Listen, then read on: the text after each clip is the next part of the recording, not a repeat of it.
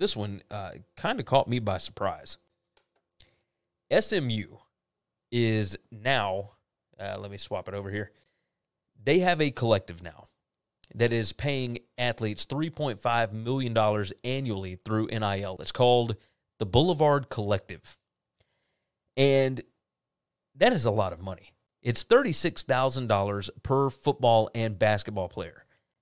It is so much money for for a, a group of five school. And we always knew that SMU would have the money to be able to compete. And it's why it's always kind of shocked me that they have not been brought up for expansion a lot. We did talk about the ACC possibly talking to SMU, and this is a big reason why, right? This is a a program that wants to be big time.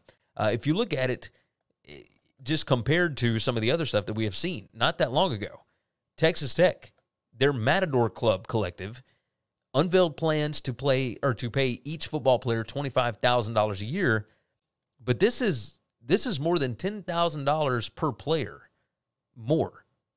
That's that is crazy.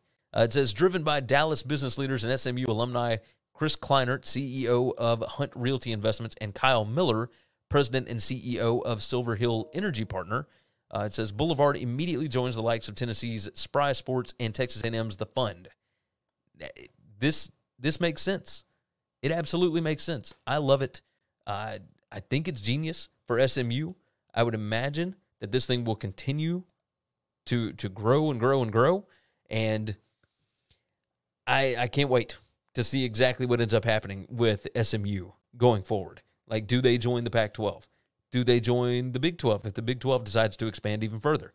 Do they join the ACC if the ACC wants to try and make sure that they are set for a long, long time?